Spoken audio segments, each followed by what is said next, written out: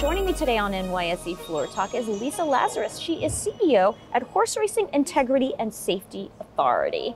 Lisa, it is wonderful to have you here. Thanks for joining me. Thank you. It's terrific to be here.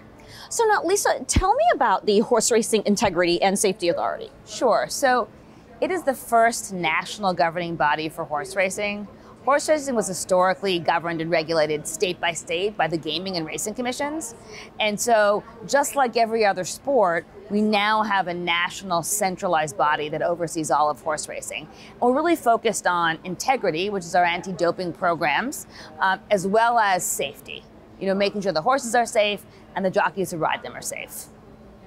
Now, you recently announced a partnership with NYSE listed Palantir Technologies. So, what was the driving, for- driving force behind this collaboration? So, HISAs, and that's that we go by HISA, that our biggest challenge, the most important metric that horse racing is measured by, is keeping the horses especially safe. When we keep the horses safe, we keep the riders safe, the jockeys safe.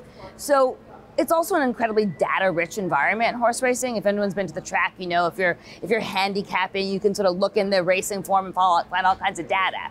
So we have all of this data, and we have this problem, which is horses that, that, that get injured and unfortunately have to be euthanized from time to time.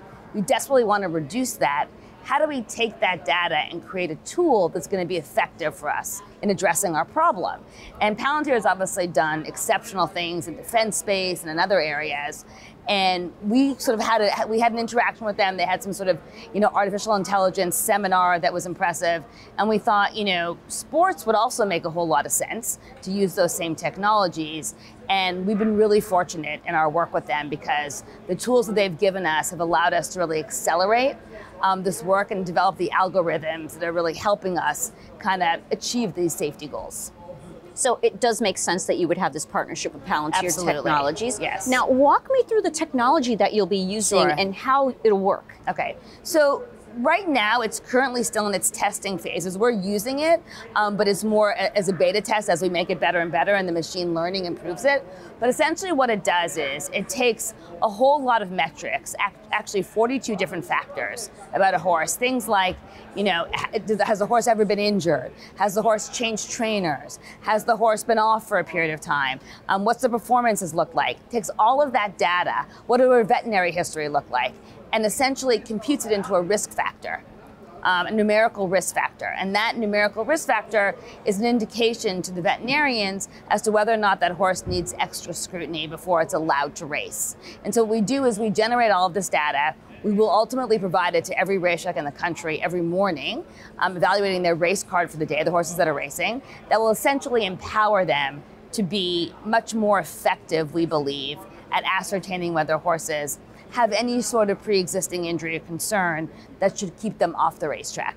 And how are you collecting this data that powers this So tool? we're, one thing we're really fortunate about at HISA is, unlike most governing bodies, we're actually created by federal law. Congress passed the law creating the Horse Racing Integrity and Safety Authority. And so that law mandates that our stakeholders enter information about, about the horses. So particularly veterinary information has to be entered within 24 hours by the veterinarians. Performance data is obviously collected by the Jockey Club, by racetracks, and um, we have a HISA portal that we've just recently built, will be built when we launched, um, that essentially collects all of this data in one place. And, um, and so putting that portal and that data environment together with Palantir's very effective tools, we've been able to create these algorithms. Now, as CEO, how do you see this partnership with Palantir and technology contributing to the broader mission in promoting equal welfare and safety? Yeah, so we, you know, we need the tools to be able to allow us to do our job more effectively. And in today's environment, you know, not ta- taking advantage of AI, machine learning, the sort of some of the powerful things that Palantir has developed would really be a miss, you know, because it, it really allows us to do things that we couldn't do previously. And horse racing, its future depends on the public believing that horses are safe um, and that the jockeys are safe. And so this is an incredibly important partnership for us because they're essentially giving us the tools to do our job well.